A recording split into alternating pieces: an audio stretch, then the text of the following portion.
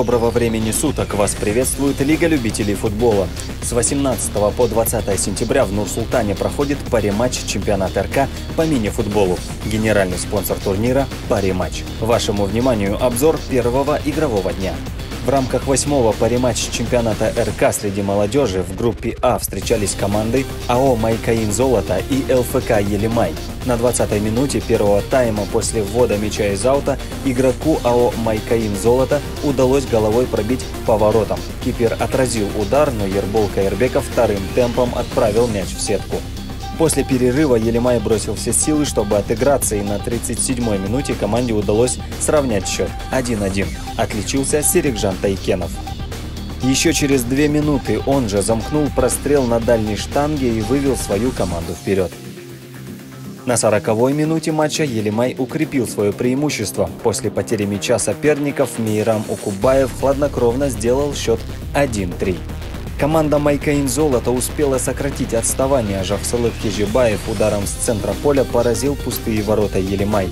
Итоговый счет встречи 2-3 в пользу коллектива из Кокшетау. Также в группе А встретились команды Жигер из города Кульсары и команда ИП Байжигитов, Ахмолинская область. Счет был открыт на 15-й минуте матча. Нурбек Кази ударом с дистанции поразил дальний угол ворот. Во второй половине матча команда «Жигер» сравняла счет. Жалгас Шуакбаев поразил дальний верхний угол ворот ударом из-под защитника 1-1. Уже через две минуты команда ИП Байжигитов снова вышла вперед. Аят Кутымбетов отличился своим голом. Под занавес матча Руслан Копеев в составе ИП Байжигитов установил окончательный счет на табло 1-3 в пользу представителей Ахмольнинской области. По итогам первого игрового дня в группе А ИП Байжигитов с шестью очками на первом месте. Далее идет команда Елимай 4 очка, Жигер с одним баллом на третьем месте и АО Майкаин Золото пока без добытых очков на четвертом месте. В группе Б идет упорная борьба за выход в плей-офф. В одном из матчей на поле встретились команды KND Construction и Казайра Навигация. Счет встречи был открыт на шестой минуте. После неудачных действий защитника навигации Олжас Сатаров поразил ворота соперников. Столичной команде удалось отыграться только во втором тайме. После отличных командных взаимодействий Алмаз Альжанов в решающий момент не промахнулся 1-1. За 4 минуты до конца Мурат Мылтыхбеков вывел навигацию вперед. Игрок протащил мяч с центра поля и сильно пробил поворотом. Вратарь коснулся мяча, однако отразить его не сумел.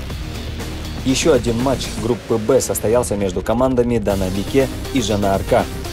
Единственный гол в матче провели игроки команды Жана Арка.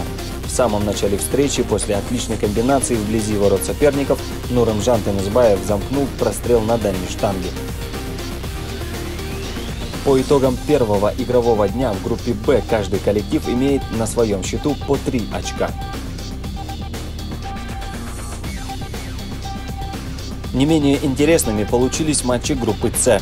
Так, например, на поле встречались команды Тамирис из города Шимкент и Биосфера из города Караганда.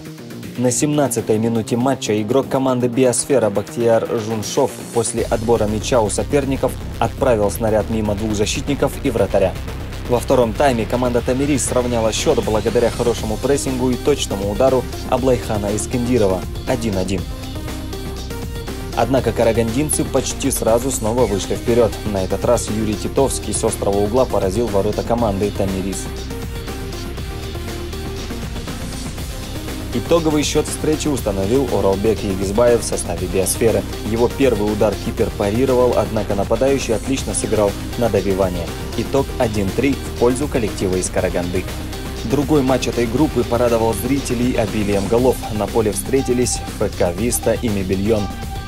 Уже на четвертой минуте Алибек Беков открыл счет, мяч попал в одного из защитников и отправился в сетку. На 14-й минуте матча Алдияр Гамаров ударом в ближний угол сделал счет 0-2. Мяч от штанги залетел в сетку. Еще через несколько минут счет стал разгромным. Ярослав Саденко отобрал мяч у соперников и пробил мимо голкипера. Во втором тайме игроки Мебельон продолжили забивать. На 29-й минуте Максат Тохтыбаев сделал счет 0-4. ФК «Виста» смог забить гол престижем. На 31-й минуте Мансур Жумабеков после ошибки защитника результативно пробил в дальний угол ворот. Однако последнее слово осталось за командой «Мебельон». На 40-й минуте Мурат Ахмедшарипов перехватил мяч из центра поля, пробил в пустые ворота. По итогам первого игрового дня в группе С команды Биосфера и Мебельон лидируют, у них по 6 очков, Тамирис и ФК Виста по 0 баллов соответственно. В группе D в первый игровой день встречались команды Батыр и Сумкар. Счет был открыт на седьмой минуте игры командой Сумхар. После ввода мяча со своей половины поля снаряд оказался у Сабита Турсымбаева, и тот уверенно поразил ворота. На 15-й минуте команда Батыр заработала пенальти. К точке подошел атлет Каликенов и оказался точен. Во втором тайме сумкаровцы вновь вышли вперед. Сабит Турсымбаев оформил дубль, однако удержать победный счет команде не удалось. Под занавес матча Шунгыс Адвакасов, вратарь команды «Батыр», вышел в поле в качестве шестого игрока из центра поля сравнял счет. Как итог, ничья 2-2. По итогам первого игрового дня в группе D у команд Батыр и Сумкар по 4 очка, Бибарыс Телеком 3 балла и Тулпар 0 очков.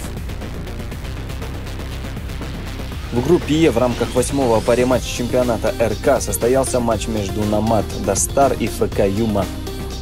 Счет встречи был открыт под занавес первого тайма. Результативным ударом отличился Еламан Марат. Почти сразу Намат сравнял счет. Мурат Джанишев оказался один перед вратарем и уверенно его обыграл. 1-1. На 25-й минуте Николай Пенгрин ударом со штрафного вывел Намат вперед. Однако ФК Юма сумел отыграться и даже выйти вперед. Сначала Оскар Шахан, обыграв защитника, отправил мяч в дальнюю девятку, а затем он же замкнул прострел на дальней штанге. Намадовцы под конец матча сумели вырвать одно очко. На 40-й минуте матча Вагиф Гесейнов сделал счет 3-3. По итогам первого игрового дня в группе Е команды расположились следующим образом. Замандас на первом месте 4 очка, ПК Юма 2 очка, Намат 1 очко, Казавтожол на последнем месте 0 очков. В группе F также прошли матчи групповой стадии. На поле встречались команды Авжол и Атриум Геолог. Команды на протяжении всего матча обменивались опасными моментами, однако поразить ворота удалось лишь в концовке второго тайма. Команда Атриум Геолог благодаря действиям Хессамуддин Казах вырвала победу у команды Авжол и заработала 3 очка. Чуть более результативной получилась встреча между командами МФК «Рахмет» и ERG. Счет был открыт только во втором тайме. После стремительной контратаки и сольного прохода Айсултану Желдыбаеву удалось переиграть вратаря. Еще через несколько минут Азамат Арестанов удвоил преимущество после розыгрыша штрафного. Команда ERG почти сразу ответила своим голом. На 27-й минуте Арестан Искаков после розыгрыша углового мощным ударом распечатал ворота МФК «Рахмет». Однако сравнять счет ERG не удалось. Итоговый счет 2-1 в пользу МФК «Рахмет». После первого игрового дня в группе F лидирует МФК «Рахмет» 6 очков. ERG и Атриум Геолог идут следом по 3 очка, Ахжол 0 очков. В группе G после первого дня чемпионата лидирует торговый дом Есиль. У них две победы и 6 очков соответственно. Кеймет и Жанибек по 3 очка, Марка Кейзет 0 очков. Также свои первые игры провели команды группы H. По итогам дня прогресс на первом месте 4 очка, столичный Берлик 3 очка, ГЕК Колледж 2 балла и СРРК Автопром 1 балл. В группе I по-прежнему сохраняется интрига. Все команды группы на данный момент имеют в активе по 3 очка. Также свои матчи сыграли команды-участники второго паре матча чемпионата Казахстана в возрастной категории 35+.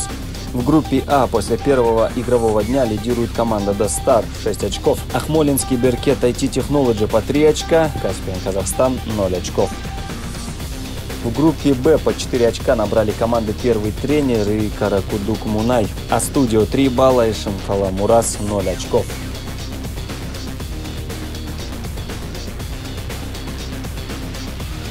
В группе С уверенно лидируют команды Самрук и Олжа. Коллективы добыли по две победы, Юнта и Оркен по ноль очков.